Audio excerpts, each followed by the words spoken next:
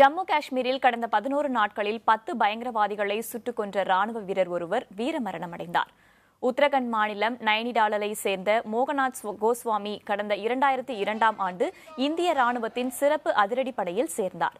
காஷ்மீர் பள்ளத்தாக்கில் கடந்த பதினோரு நாட்களில் பயங்கரவாதிகளுக்கு எதிராக ராணுவம் மேற்கொண்ட மூன்று நடவடிக்கைகளில் அவர் பங்கு கொண்டார்.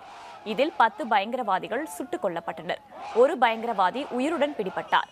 குப்வாராவில் நடைபெற்ற சண்டையில் காயமடைந்த மோகன்நாத் கோஸ்வாமி சிகிச்சை பலனின்றி வீரமரணம் அடைந்தார். அவரது உடல் பொதுமக்கள் அஞ்சலிக்காக வீட்டில் வைக்கப்பட்டது.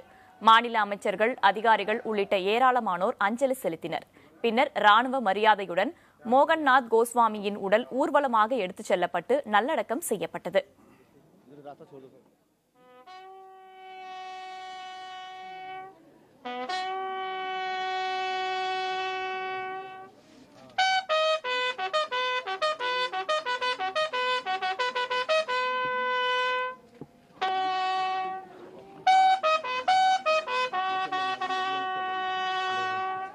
मोबाइल नीचे मोबाइल नीचे मोबाइल नीचे भाई।